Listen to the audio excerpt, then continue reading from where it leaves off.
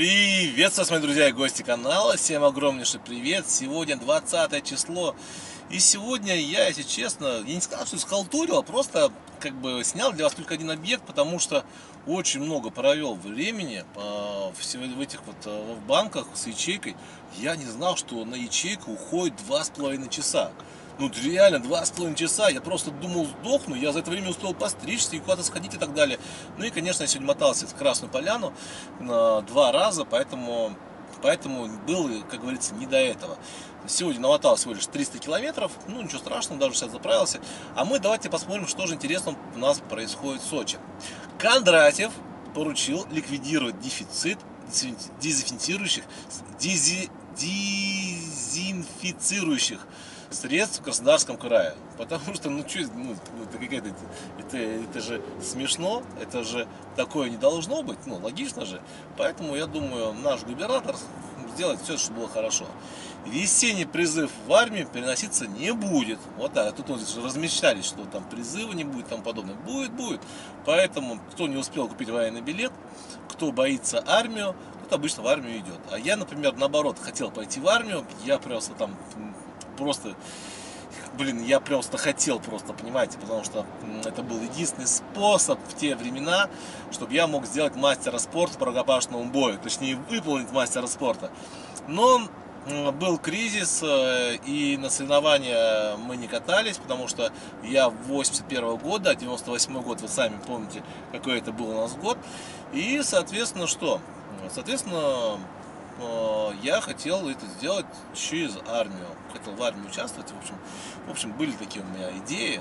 Но э, тренер по карате нас, Гладышев, до сих пор помню, какую фамилия Гладышев, убил всех нас, потому что, как потом, когда выяснилось, когда я уже учился на кафедре физической культуры и спорта, то немножечко не те давал на упражнения, поэтому у нас у всех, э, тех, кто хорошо занимался, я хорошо занимался, у нас были деформированные стопы, деформированные, в общем, кости, и у всех там плоскостопие, а то сейчас подумайте, что я, ну, какой-то не такой. Ладно, Черноморские круизы на князь Владимира отменены до 25 апреля. До 25 апреля. И самое интересное, что круиз на князе Владимире стоит ровно столько, сколько поездка в Доминикану. Представляете себе? Ну, бред, конечно, бред. Ну, ладно, я здесь согласен. Лучше лишний раз перебзеть, чем добзеть, понимаете? Ну, мало ли что, блин. Я, если честно, тоже как бы стал вот в связи с этими новостями немножко побаиваться за этот коронавирус.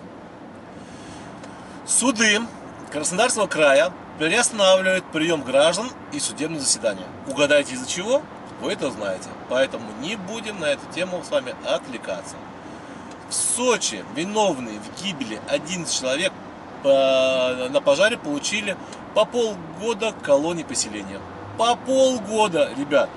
Просто 11 человек погибло, а по полгода дали. Ну круто, ну что. Самый гуманный суд в мире, сто процентов. В России начали испытания вакцины против коронавируса. Слава богу, блин, все, будем продолжать работать, это будет круто. В общем, будет все хорошо. В Сочи без водоснабжения остался микрорайон Соболевка и а, организован подвоз воды. Вот она, злая Соболевка. И что еще страшнее, это вот как туда все это доставляется. Ну, реально страшно. например, я на своей машине там не могу нормально, комфортно проехаться, чтобы, знаете, и начинаю уже себя винить в том, что, блин, наверное, наверное, иногда, наверное, стоит материться, и потом легче, наверное, жить, когда ты выматерился. А я не матерюсь, поэтому просто еду и переживаю, нервничаю, и при этом чувствую себя некомфортно. Состояние заболевшего коронавирусом в Сочи удовлетворительное. Заболевание протекает в легкой форме. Вот как бы вот вам как бы так. Конечно, это все зависит все-таки от иммунитета. И я скажу вам честно, э, я поэтому на секундочку и забил на дефицит калорий и тому подобное, потому что я прекрасно помню то свое состояние, то свое чувство, когда я себя ограничивал в еде, держал режим, я понимал, что у меня появлялась слабость и там насморк просто у меня не проходил и все. Поэтому я думаю, если вдруг я сейчас перегну палку, то вполне возможно меня может коронавирус и тоже взять и зацепить потом очень жестко. А, учитывая, что я обычно переношу все заболевания на ногах, ничего хорошего с этого не получится.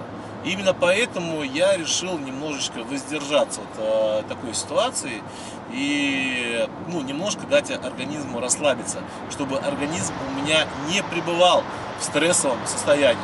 Ну, как бы это мое право, кто-то скажет, Макс, ты просто, ты просто отмазался, ты просто то, ты просто это. Ну, ребят, согласен, но, может быть, я просто и отмазался, но те люди, которые находятся у меня в группе, они знают, какой я могу добиться э, результат, как я добиваюсь, какой результат они добились. Просто сейчас не хочется мне как бы экспериментировать, потому что я думаю, что ничего хорошего с этого эксперимента не станет. Итак, полиция Сочи опровергает фейковую аудиозапись о лже дезинфекторах. Ну, слава богу, хоть чем занимается. А в Сочи э, успешно приземлился заминированный, в кавычках заминированный, самолет из Москвы. Ну, опять делают эти э, объявления, это фейковые и тому подобное. Э, в Сочи разработаны дополнительные меры по самообработке общественного транспорта. Все, это еще раз, еще раз, еще раз, еще раз, еще раз, и все. Ребята, а вот на этом новости, в принципе, заканчиваются. Сегодня пятница, и знаете что? Э, мне нравится вот такая обстановка, потому что сегодня не так много было людей в банках, сегодня были такие жесткие пробки в Адлере, как обычно они бывают. Сегодня я беспрепятственно доезжал от пункта А до пункта Б, и сегодня наблюдал такую картину, что обычно у нас гаишники так берут, так, так раз, и залезают к тебе. А в этот раз смотрел, они стоят на расстоянии, спрашивают документы, и такие, знаете, э, два метра они стоят. Вот как бы есть, конечно же, и свои плюсы, да, при, при коронавирусе. Это мало народу, это, опять же, э, как ни крути, очень много проходит дистанционных сделок, да, где люди сами даже не приезжают. Ну и, конечно же, дистанционные сделки это выгодно, потому что все эти самые очереди и тому подобное, все у нас что делать? Отставить Максим, все верно. Все бумажечки собираем там и тому подобное. Поэтому как бы клиенты в принципе никак не пострадали, а, но здесь работы немножко стало больше, потому что, например, сегодня мне физически не хватило времени даже поснимать объекты, которые я хотел сегодня заснять для вас на Красной Поляне. Просто, просто не получалось, потому что каждая минута была расписана, и именно из-за этого я сбился с режима, потому что я сегодня нифига не пообедал. И это тоже не очень хорошая ситуация, лучше, в общем, будем пробовать. А, опять же, Ребят, скажу честно, был у меня сегодня небольшой косяк. Я сегодня, пока сидел в банке, пока они заполняли мои данные, пока вот это все, вот это, чтобы заложить деньги в ячейку, если там был два раза. Что вы, кстати, я знаю, в каких банках можно заложить ячейку, а вот вы не знаете, риэлтора, а я знаю. Вот так вот. Скажу за шоколадку. Да, шоколад тоже себе иногда позволяет. Так вот, э, я пока сидел в этой долбанной очереди, э, включил, включил вот такой вот один наушничек, вот такой вот наушничек. И что вы думаете? Что я сделал? Ну-ка, давайте посмотрим. Что я сделал? Как вы думаете? Что я сделал? Ну-ка, раз, два, три. Все верно. Я посмотрел эфир на Первом канале, который там, э, знаю все или что-то такое. Ну, короче, как э, блогершу, которые там э, с этим льдом э, типа проверяли на детекторы лжи, и на этой передаче она участвовала, да, их же пригласили, пригласили с подружками. И целый час я наблюдал какую-то дичь. Целый час я наблюдал какую-то херню. Ну, я по-другому никак не назову. Если кто смотрел, вы как бы просто посмотрите для интереса.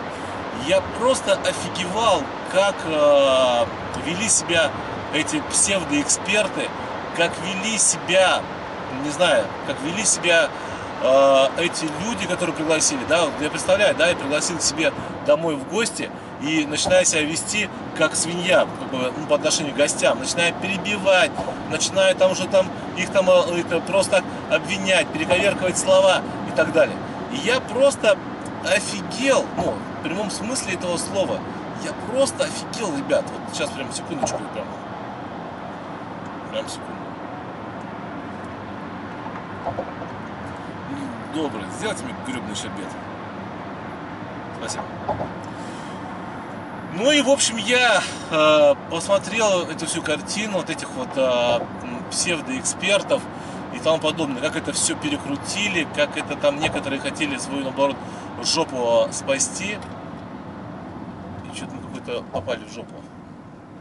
А что, пойму, происходит? какая-то фигня. Здесь страшно, что могут в попу догнать.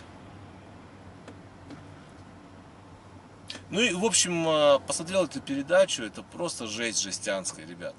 Я э, прекрасно понимаю эту девушку, прекрасно понимаю, как это могут все журналисты, могут нас э, все перековеркать, как они могут это все преподнести, как они могут себя вести, вот этот, понимаете, вот этот хайп на смерти мужа, да, вот это мне тут знакомы эти слова, вот этот все пытались там опять же, да, там, раз у них там э, медицинское образование, пытались там какие-то там вопросы задавать э, с химией, потом там что-то пытались там непонятно что доказать.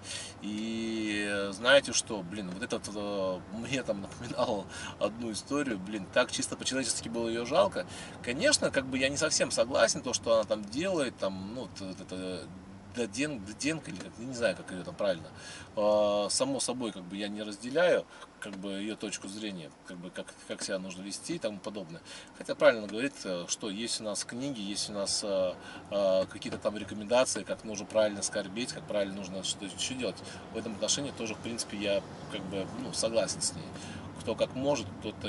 Но факт то, что как себя повели а, Первый канал, ну это просто извон плохо.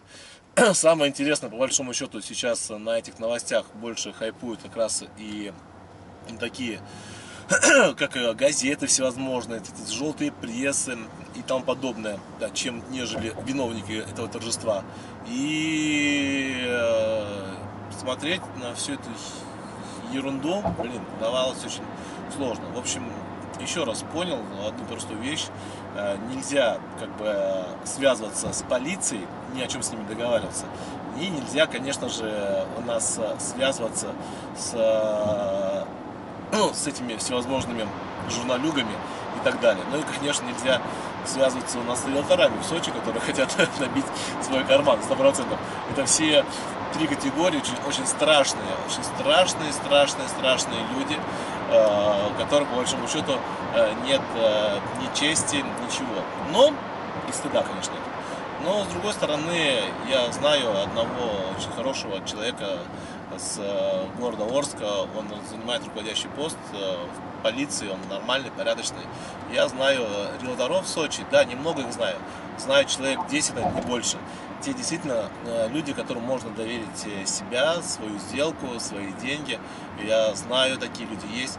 И действительно, я знал, как бы, и вы знали, есть у нас журналисты, которых, э, которые даже сейчас, да, уже их нет уже давно, там больше 10 лет, но про них вспоминает с уважением, да, к примеру, Влад Листьев.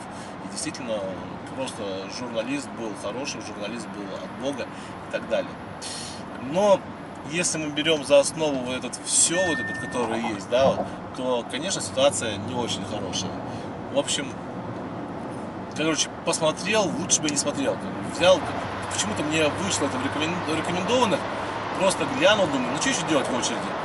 И посмотрел, и просто офигел. Ну как так? Вот, э, просто чисто по-человечески стало ее жалко и тому подобное. Хотя, знаете, почитал комментарии, в комментариях много адекватных людей, понял, что э, ну, не все кончено. Ну и по, опять же, по количеству лайков и дизлайков понял, что в принципе люди также, которые смотрели этот эфир, они поняли, что как бы немножко Первый канал у нас на этой передаче, да, то вот где там полиграф, я не знаю, как эта передача правильно называется, то немножко они, конечно же, там перегнули, даже не немножечко, а множечко перегнули.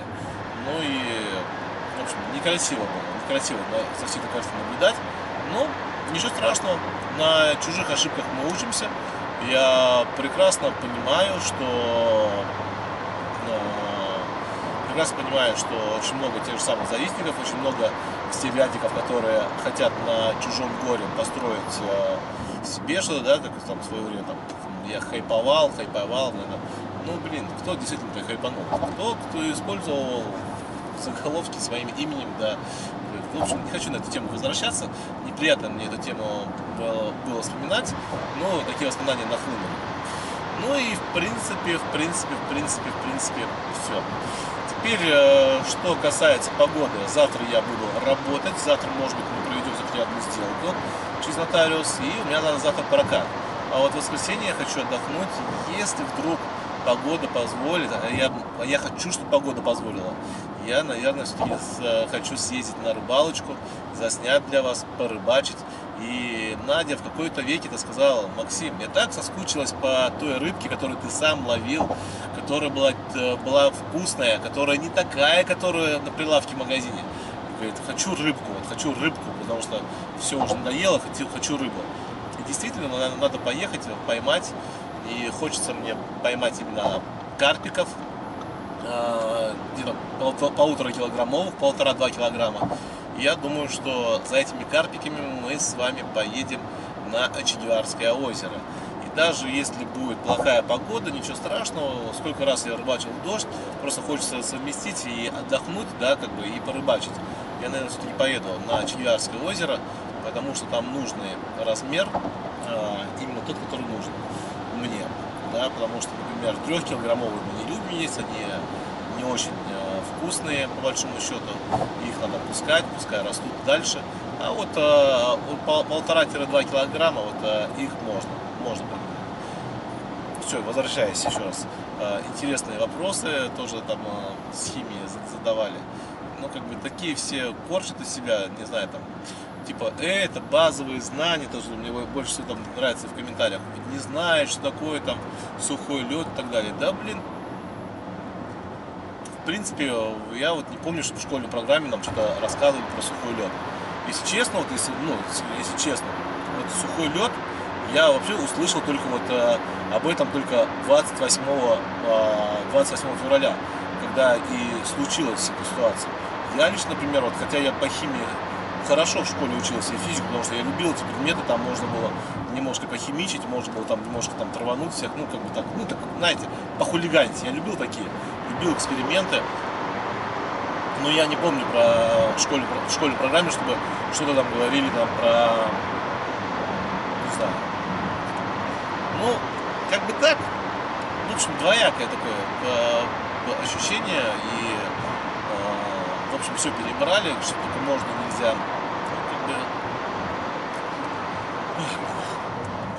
знаешь, бывает такое, знаешь, хотя вроде кажется снаружи, ну, взял, посмотрел все это, прочитал все и как-то аж расстроился из-за другого человека. Ну, бывает же такое. Ну, бывает, я так тоже думаю, что бывает. Все, ребят, на сегодня, наверное, из новостей все. Вам всегда желаю, чтобы вас преследовали только хорошие новости.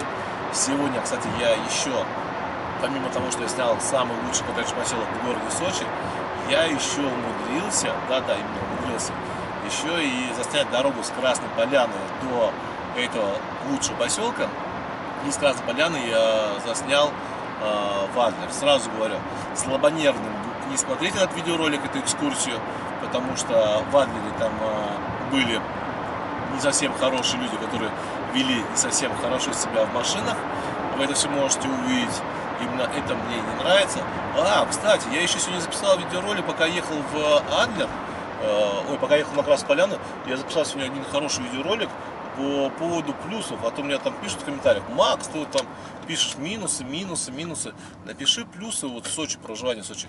Что вы думаете, я взял и записал сегодня. И тоже вот э, слабонервно прошу очень сильно там не смотреть, как бы особенно концовку. Вот, например, смотрите первые 30 минут, э, дальше вы не смотрите, потому что у меня в конце вот э, стало бомбить, еще последние 20 минут я прям разошелся, как бы высказал все, что я думаю про там, ну, как бы, все, что я немножко сравнил Орск с другими городами.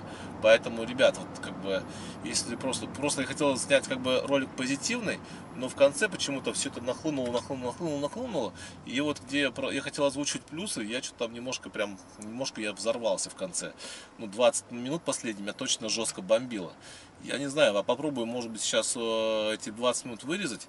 А вы пишите в комментариях, э, пока вот я монтирую, вырезать эти последние 20 минут, где меня начал бомбить, или все-таки не вырезать. Потому что начало было, посмотрел, ну, нормально, я вспоминаю, хорошо все рассказывал, там все там, все четко по факту и так далее. А в конце что-то меня прям, прям прорвало. Ну, бывает такое, прям прорвало и все прям, как бы, прям пошло, пошло, пошло, пошло, пошло, пошло, пошло, пошло.